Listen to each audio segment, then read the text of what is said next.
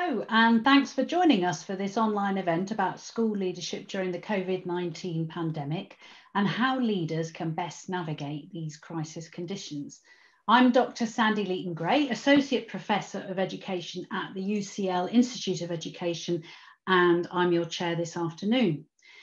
Now, in terms of how we'll run the event, once I've introduced our speakers, I'll kick things off with a couple of questions but we're here to respond to your questions, which you can share throughout using the YouTube chat facility or via Twitter using the hashtag IOE coffee breaks. So to the in introductions, as I've said, I'm Sandy Leaton Gray. My own expertise is in the sociology of education and spans education policy, teacher professionalism, curriculum and assessment, as well as artificial intelligence and biometrics in education. And with me today, I'm very pleased to introduce Qing Gu, Professor of Leadership in Education at the IOE and Director of our Centre for Educational Leadership. Qing's research interests include teacher resilience and effectiveness and school improvement and systemic change in relation to England as well as internationally. Now, among her many roles, Qing is a member of research advisory committees for both the Cabinet Office's National Leadership Centre and the UK Chartered College for Teaching. And I'd also like to introduce Roger Pope. As well as being visiting professor at the IOE, Roger is CEO of Education Southwest, an academy trust of 10 primary and secondary schools. Prior to that, Roger was principal of Kingsbridge Community College, which was among the first teaching and research schools and an early licensee for the delivery of national professional qualifications. He's also served as chair of the former National College for Teaching and Leadership. Roger continues as National Leader for Education, and he's currently working on school leadership projects in North Africa and Northern Europe. And in 2016, he was awarded a CBE for services to education. Now, I'd like to start with a couple of questions for both Qing and Roger. Um, Qing, we can imagine the intense pressure that school leaders have been under since March. You'll both be talking to school heads all the time. Has anything surprised you in what they've said about the impact of COVID on their work as leaders? Um, um, yes and no, Sally. Because um, I'm, I'm speaking as also a, a school governor um, of um, inner city primary school in Nottingham and also um, a trustee of a multi academy trust. Because um, over the last few months, it's not surprising to see um, there are, have been voices of deep frustrations and challenges that relating to all aspects of leading a school. Um, and I think what has really been added, we can see adding to is, is the work is the workload and also workload complexity to what school leaders um, have to do and manage on the on a daily basis. Um, and also thinking, speaking as a researcher, looking at the reports, like some of the work um, done by Professor Gemma Moss in the IOE, looked into teachers' duty of care, I think we can see is, is a very differentiated picture in the, in the system, um, where the challenges are more intense are in those schools that serving socioeconomically more, de more deprived communities. I think what is then, as Gemma has also written in her report, has um, shown to us is this situation, COVID didn't cause this um, societal inequalities or the challenges for school leaders, but it certainly has really exposed more deeply and sharply some of the embedded structural inequalities um, in our society. And it also exposed very clearly schools and school leaders alone can't fix many of the challenges and many issues. And what really surprised me to some extent, which I shouldn't be surprised, is really also heartwarming to see the hard work, the duty of care, and the resilience um, professionalism that our teachers and school leaders have demonstrated, trying to keep children safe and trying to keep children learn. And I think just in, in, in summary, what I have seen that in schools where I have worked is the school leadership that harnesses the energy and expertise from the school community. And that holds great promise to enable teachers and pupils to keep safe and keep learning. Um, it's, it has been an emotionally, physically, and intellectual challenging journey.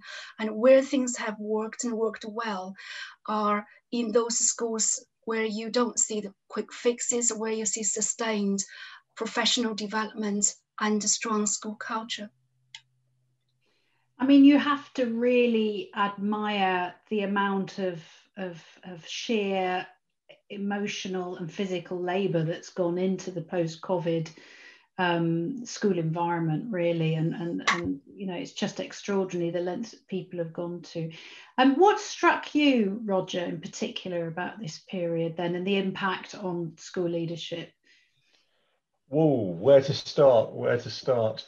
Um, I, I think I, I think i I'd like to just pick up a word that that Qing used there when she talked about a differentiated uh, response and a differentiated picture, and she uh, drew from that particularly some of the what she referred to as the embedded societal issues obviously you know disadvantaged children disadvantaged communities but i think we also need when we're talking about this to bear in mind the, the sheer range of different scenarios that there have been across the country, and also the way in which leaders have had to respond differently, if you like, what we'll call lockdown one and, and the ongoing picture. So I think if we go back to that time back in, in March with the initial lockdown, then I think that that was a leadership response which was all about uh, immediate command and control leadership. So there, there was a crisis, there is a problem that had to be solved. And so leaders went into that mode of don't let's sit around and talk about this, don't let's have democratic leadership, let's just get on with it and, and solve the problem and work out how we are going to manage children continuing to learn when, when they're not in school. And I'm going to say something slightly controversial, but it could be that there are some school leaders who probably found that quite exciting. That, that was a kind of a dramatic moment in their leadership career that they had to, to respond to. I think what also characterized that, that period was a very strong sense of cohesiveness between local communities and schools. And there were many stories uh, and some research evidence from, from surveys of feedback from parents, which was along the lines of, we never realized that teachers had to work so hard. We never realized that teaching a child was so difficult. We never realized how difficult it is to motivate a 14, 15 year old to do some learning um, when they're at, at home. And I think there was, generally speaking, a sense of, of mutual um, regard and respect for what parents and schools were doing and a kind of coming together. Now, since then, I think we've had a, a much more uh, divergent picture across the country. So I was talking to some school leaders last week uh, who are from the Northeast, who were talking about how some of their children have been out for three, four weeks since, since that initial lockdown. They were talking about uh, teachers within their schools who had been hospitalized and had then died from, from COVID. Um, so you've got those kinds of experiences down to other schools, say in the, the south of the country where I am, where they've only just started to have to send children home because of, of uh, the need for, for shielding, where they haven't experienced any um, deaths directly within the school community. So I think when we're talking about leadership in, in, in this situation, I think we just have to caveat our remarks against the vast range of experience that leaders have had in different contexts in different parts of the country. If I had to sum up the, the common feature uh, across the country, it would be that leaders have had to retreat from retreat from strategic to operational mode. I think that you know we've got used to talking about heads, chief executives of, of trusts taking a more strategic view, standing back, planning for the future. Actually, these people have, have been in firmly operational mode and a very complex operational mode. We often think of operational leadership as being something simpler than, than strategic leadership. It's kind of something which is sort of slightly lower level. Um, what they've been having to do is they've been having to lead in a rapidly changing, complex situation. Um, complex because the the instructions, the lines of responsibility haven't been clear, uh, particularly this time round. They've been getting one message from Public Health England, another message from the local authority, another message from the, the Multi Academy Trust, another message from parents. Uh, they've not been able to get those answers quickly. They've had the unions uh, peddling another kind of um, narrative around keeping staff safe, etc., changing scientific evidence in lockdown one. The, the narrative was very much children cannot uh, pass on COVID, let alone get it. And yet, lo and behold, in, in this iteration, we are seeing children who are testing positive, who, who are having symptoms. So really complex operational leadership. And I'll give you just one example. Um, a school in our, in our trust had to send home a bubble of 40 year 10 pupils last weekend. So 40 pupils had to isolate because of, of somebody in the bubble testing positive. On the Sunday, the head teacher of that school took 119 119 phone calls from parents relating to that issue that's the level of opera, uh, operationalization. I'll stop there. Yeah, I mean, it's certainly very different uh, as, a, as a head teacher environment, isn't it? And very much um, thinking about the unknown and trying to anticipate the unknown in a way that uh, perhaps people weren't expecting to do. And certainly the uncertainty as well about transmission rates and how that impacts on different age groups and so on. Um, you know, there's co conflicting science on that. So we've had very good reports from the Pasteur Institute and the Karolinska Institute earlier on in the pandemic. Um, and it's perhaps time for another systematic review. Um, so people are really working in the dark. Um, can I can I ask Qing now? What examples of good leadership practice do you think have emerged that have helped schools weather these uncertainties at the moment? Sandy, that's. I'm just thinking Roger will probably be able to give more concrete questions, but um, answers to that. But uh, from my observation, certainly as a school governor, I did a curriculum review with one of our senior leaders and what I took away from that conversation really kind of more or less reinforced what we have learned about why some schools are able to do well and to be able to do well despite the challenges. At the heart of that is the deep trust within the school culture that the senior leader was able to have the confidence that the head teacher and the CEO in the trust um, believing what she's developing in terms of in very difficult and challenging circumstances to create and mature the new curriculum she has developed for the school. And also its relentless focus on what really matters in these difficult situations when it's hard with all this managing the unexpected um, situations on a daily basis is also to keep focused about keeping children safe and keeping children learn and how we can achieve that. And it was quite interesting to also hear from um, from her talking about the importance of working as a team. She never felt she was alone. You know, all the all the issues we talked about. I think the three words I took away from that meeting is collaboration, collaboration, collaboration. Behind that, there is that professional trust and, and focusing on the core business about how um, given I think within the pandemic, she was trying to say to us, we need to distinguish two fundamentally different issues. One is about trying to manage the technology and to teach children the way that we normally teach them in person.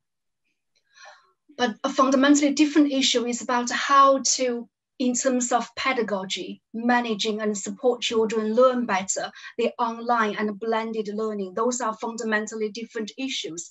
And as professionals and how we learn together, we just did a, um, a trust survey. And what I took away from the results is not that, you know, I'm seeing songs for the trust, but I think what really worked um, speaking to the school leaders is, is, is a value, is a shared um, values that we're here for the children. I mean, one thing um, one of the leaders said to me almost put tears in my eyes. I was concerned about, of course, her, her, workload developing a, a, new curriculum given the challenges. And she just said, we have a strong team. And as a professional, it's part of my duty of care to, to ensure children are engaged in their learning. And I will stop here for, for the answer. Roger, have you got anything to add? Is there anything that you've seen that, that really demonstrated best practice? Yeah, yeah I mean, I, I think um,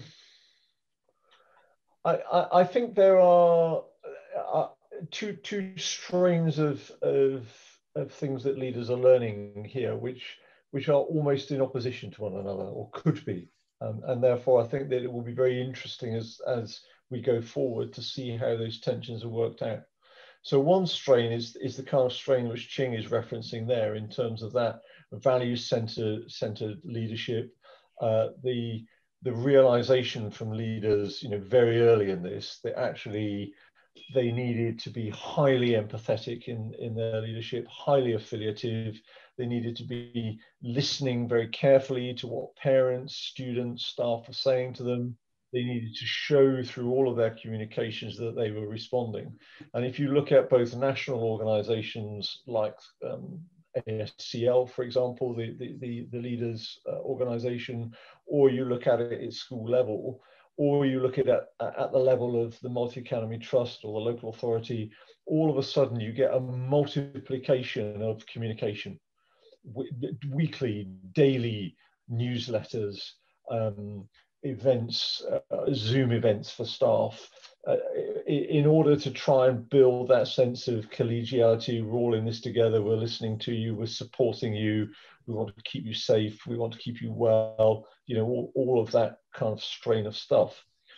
And then I think there's been another interesting uh, strain of, of leadership here, um, which is about uh, about being more directive and so, in this situation, leaders have realized that things have had to happen quickly.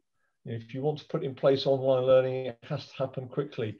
In terms of keeping children safe, there are all sorts of new uh, uh, procedures and processes and policies that have had to be introduced into schools instantly.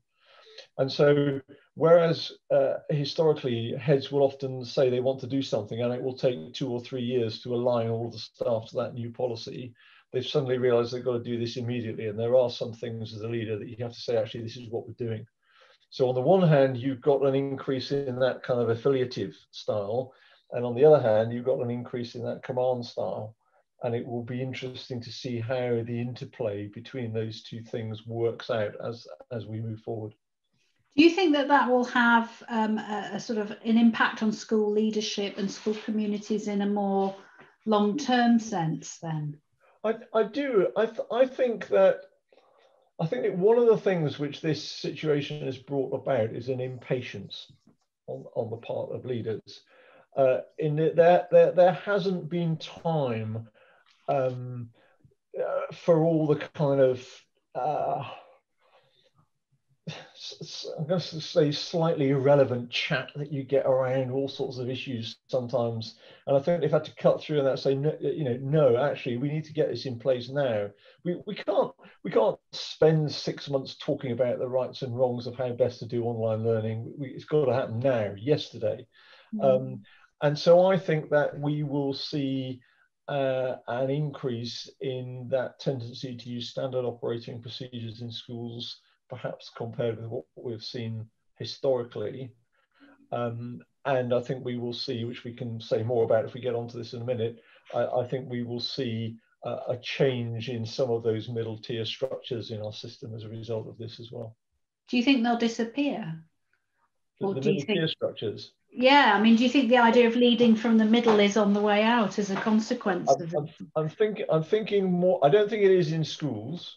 Um, I think at a system level, now I was thinking about that middle tier. Is it is it local authorities? Is it multi-academy trusts? Is it is it regional schools commissioners? I think that it, as a result of what we have seen happening in the last six to nine months, I think we will see uh, changes and acceleration. Uh, and I can say more about that if, if you'd like me to. I mean, I'm just wondering, do you mean top down policy, you know, so, in a very so directed what, what, sense? No, I mean that what uh, Qing Qing again, you know, talked about uh, collaborative approaches. What what we have learned over the last nine months is we have learned that however much a school might like to be seen as a a, a self-determining, self-governing island, actually, a time of crisis, no, you can only succeed through cooperation and collaboration with, with others. Um, both because you need those collective solutions and also because you need succor and support.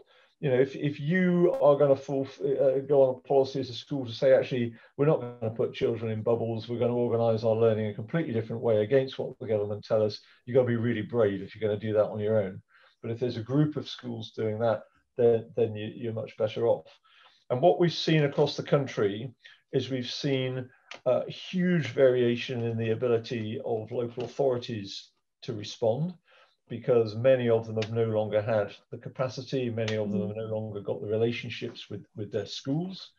Um, we've seen regional schools commissioners struggling to find a role, uh, and we've seen because this could have been their moment in the sun. It could, and, and the ones who have had the moment in the sun have been very good multi-academy trusts. Okay. And the and the reason is because they have been able to combine that kind of collective strength and power and decision making with knowing their schools really well and having really strong bonds of trust with those schools. So I think that one of the the leadership outcomes of this situation will be a good hard look by the government at that middle tier, not in schools, but, but nationally. You know, the government has been saying you must do this, you must do that.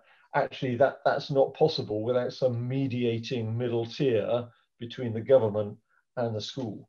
And, and we've seen it being worked out between local authorities, multi-academy trusts, regional schools commissioners. I, I think it's the multi-academy trusts who have emerged the strongest from, from this. And there's some big questions about local management of schools in the financial sense, of course, um, and the resource that's available and how differentially skewed that can be. Uh, yeah, yes, I mean, which was you know, supposedly being addressed through uh, addressed through the fair funding formula and the fair funding mechanism. Um, so I think that we will see that being worked through. But of course, you know, I'm, I'm beginning to sound like a proponent for multi-academy trust here.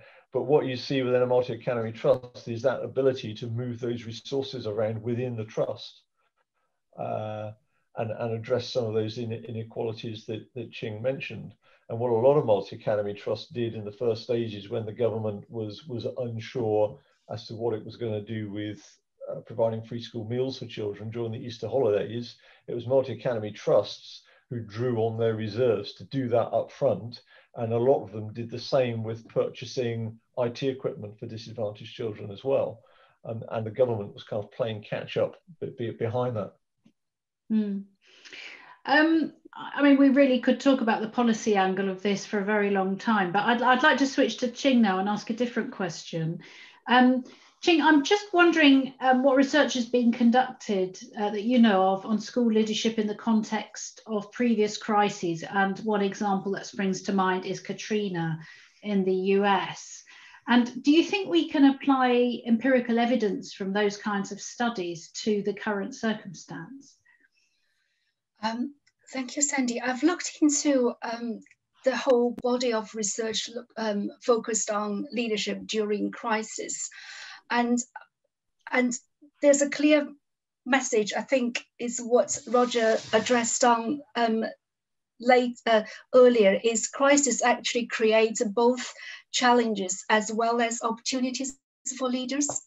And I think what is also exposed is the importance of focusing on the basics. Of, of course, you know, with all these crises going on, but you do go through different phases. You know, in for example, if you look into the McKinsey report, looking at um, the different phases the school schools will have to respond. Now we're going into the reimagining phase, certainly in our trust, you know, also in some um, other local authority focused meetings I attended, you know, school leaders thought we, we're now going into the next phase. Can we think about the future?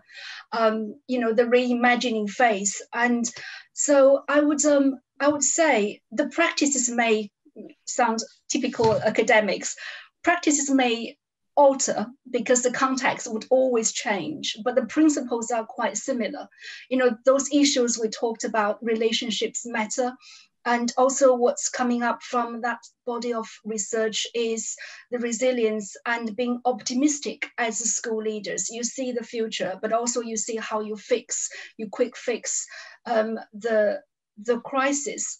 But also at the heart of that is when we deal with un uncertainty um, and coming out of that quick fix is to think about the, you know, developing teachers and supporting school leaders.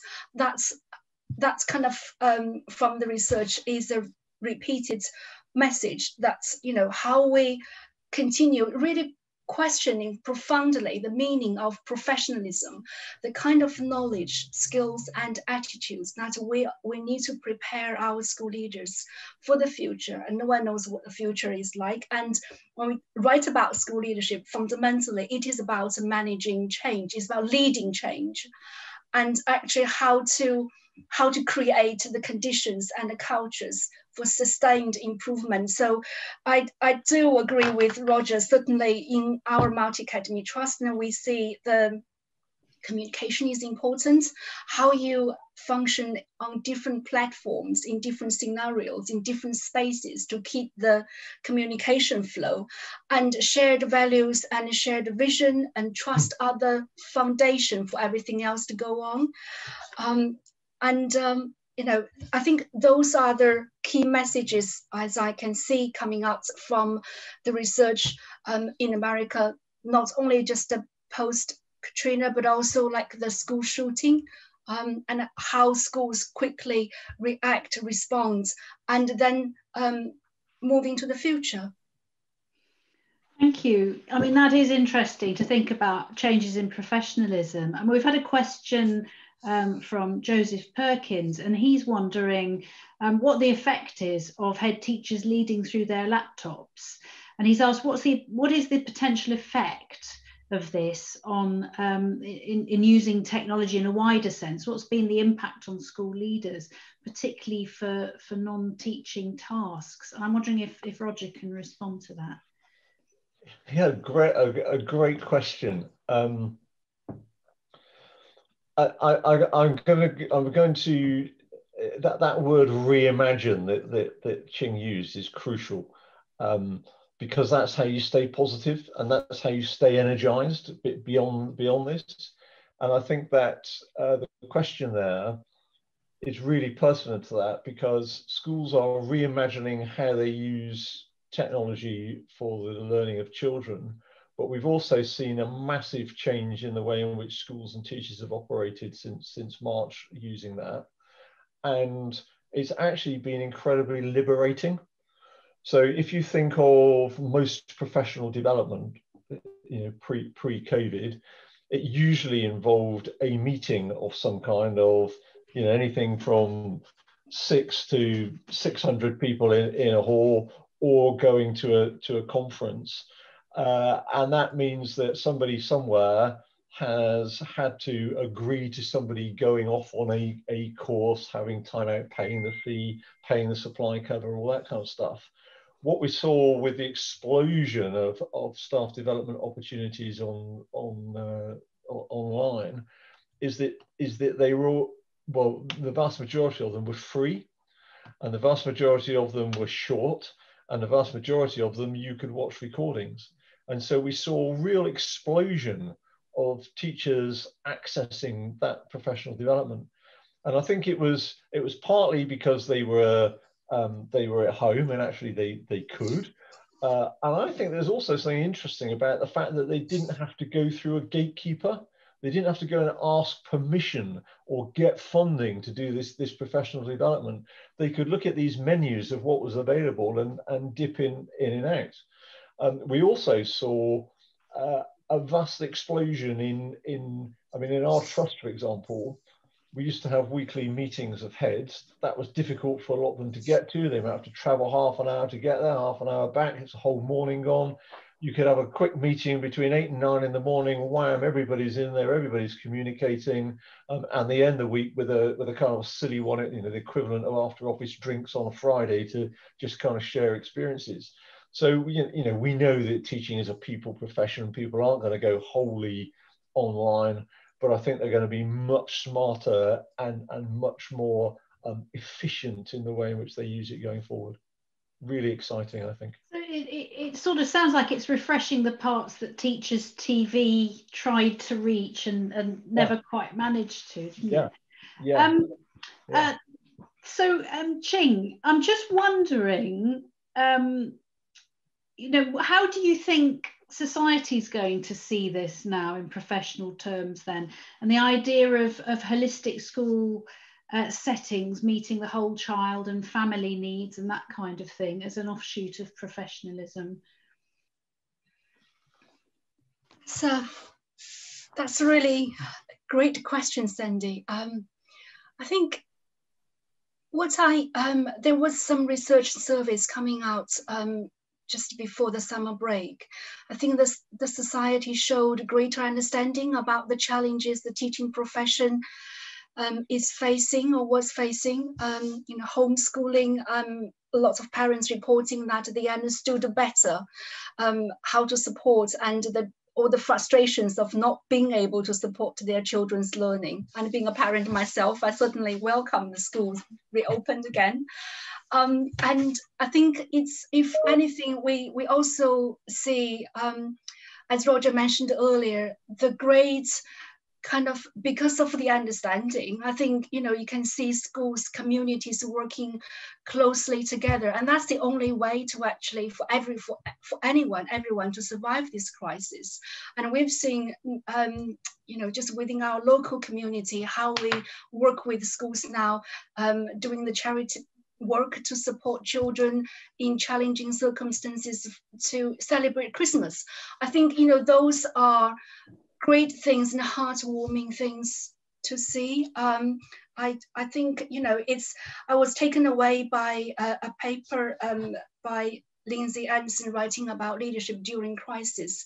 I think the genuine questions, you know, for all of us to ask together is, you know, what do you need and how can I help? Yeah, I mean, that's an interesting one, isn't it? But uh, we've another question from a member of the public who's asked um, about uh, what your response is to the survey suggesting many heads may leave their roles sooner than they had planned because they're burning out from the COVID 19 episode, which is the flip side of that, if you like, the emotional work of accommodating the school community. I think it, it was, I would be interested in hearing what Roger says. But certainly as, as a researcher, I mean, when I was thinking, you know, Schuman wrote in 1984, 87 about the nature of the profession, the teaching profession is filled with unavoidable uncertainties. And this is just another extreme example that school leaders have to deal with. And I think it also goes back to um, about what kind of schools are more likely to suffer and in what circumstances. And certainly in our trust, because of the um, you know the, the work we've done well before this, the um, we were able to maneuver the expertise, the capacity to actually create the support that single schools are unable to um, to to manage given the quick turnaround time and the mechanism, the complexity of the challenges. So I think, you know, as certainly as researchers, we need to ask more powerful questions about understanding not only the percentage, but where the percentage are more likely to be, what kind of situations, what are the challenges are, therefore how the system is able to support better. And the issues Roger mentioned about the mediating layer, you know, we can trace back to more than 10 years ago now. McKinsey in their report looking at education systems talked about the, the importance of the mediating layer. So you can I would um, agree with him um, strongly what Roger talked about, you know, in these situations when if you are a single school, you don't have that support network, it would be extremely difficult um, to not only talking about expertise and capacity, but also um, the resources and the emotional support that school leaders also need. I liked what they um, NAHT um, wrote in their latest reports about treating developing teachers and school leaders as a professional entitlement. I think this is what something that we, we, we learn from this crisis and looking at actually all those stuff we write about successful school leadership.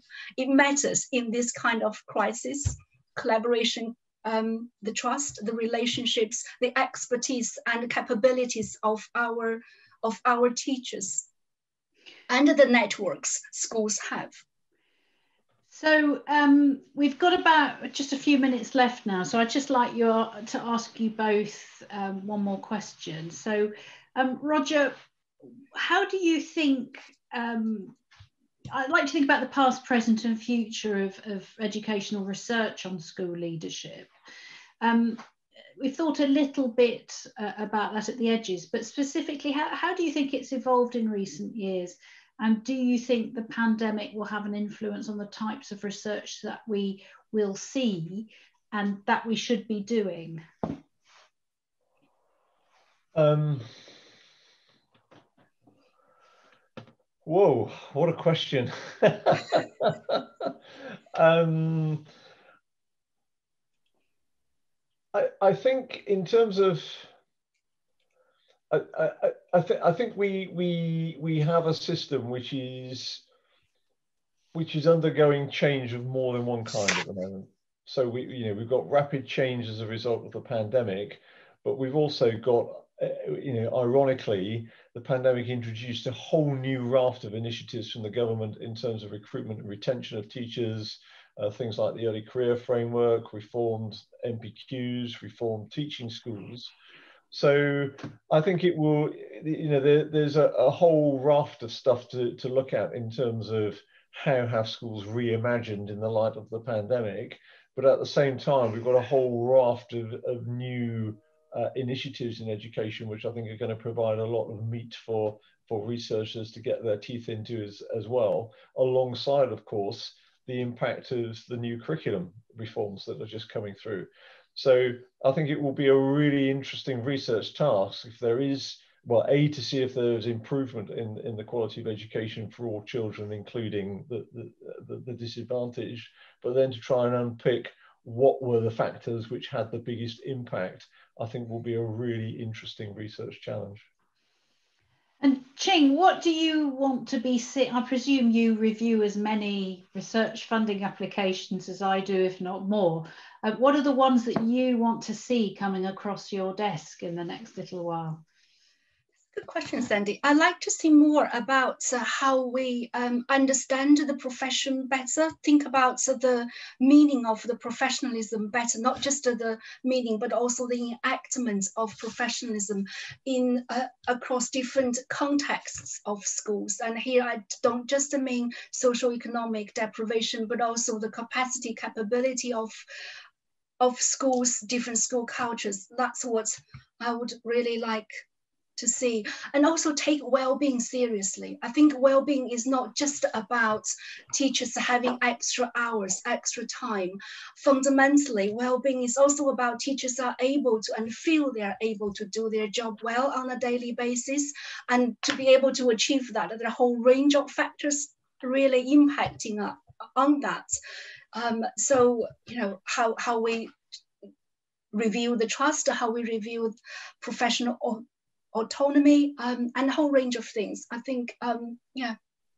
That's fantastic. Well, um, quick poll results before we finish.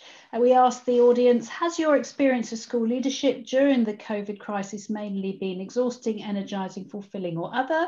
We have 50% exhausting, 25% energizing, 0% fulfilling, oh dear, and 25% a mysterious other.